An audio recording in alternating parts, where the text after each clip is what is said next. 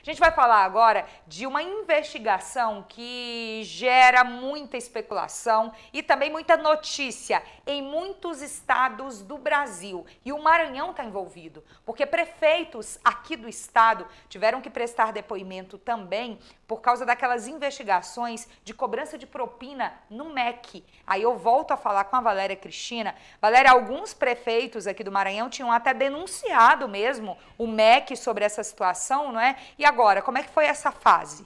Pois é, olha só, a Comissão de Educação fez uma sessão no Senado para ouvir prefeitos maranhenses aí a respeito do esquema de pastores que pediam propina para facilitar o acesso aí de recursos do Ministério de Educação, né? A gente já falou sobre esse caso lá no Mais Maranhão, para quem quiser acompanhar pode até acessar o nosso site, é maismaranhão.com.br, porque a gente falou que tudo isso começou, né, gente, depois que um prefeito aqui do Maranhão, o prefeito do município de Luiz Domingues, denunciou aí que um pastor havia solicitado, um pastor ligado aí ao gabinete paralelo do Ministério de Educação, havia pedido 15 mil reais aí para poder facilitar esses recursos do MEC, para liberar esses recursos. Além disso, havia pedido também um quilo de ouro para ele, para que isso acontecesse. Então, essa denúncia ocorreu aí em alguns veículos de comunicação né, nacional. O pastor fez essa, é, perdão, o prefeito fez essa denúncia, então começou todo esse procedimento de investigação.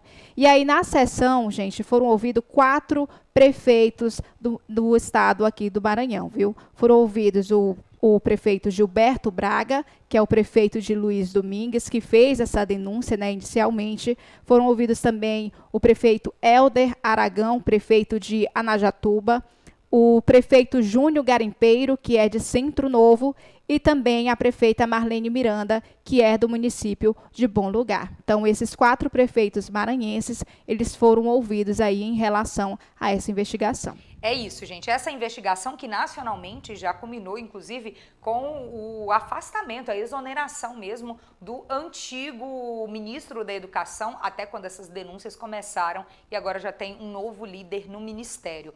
Um caso que a gente vai continuar acompanhando e que nacionalmente o Maranhão foi citado por causa da denúncia inicial desse prefeito maranhense contra esse pastor que é denunciado por fazer parte de um que seria um gabinete paralelo aí dentro do Ministério da Educação, o que é completamente ilegal, o que é um forte indício de corrupção e por isso essas investigações seguem com prefeitos maranhenses que fizeram denúncia sendo ouvidos também. Jornal Mais Maranhão. Notícias com credibilidade e equipe competente. Siga o nosso Instagram